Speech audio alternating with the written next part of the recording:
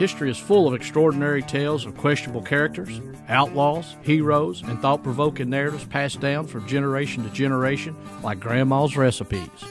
These real life stories and exaggerations of fiction have helped shape our culture and created a larger than life accounts of legend.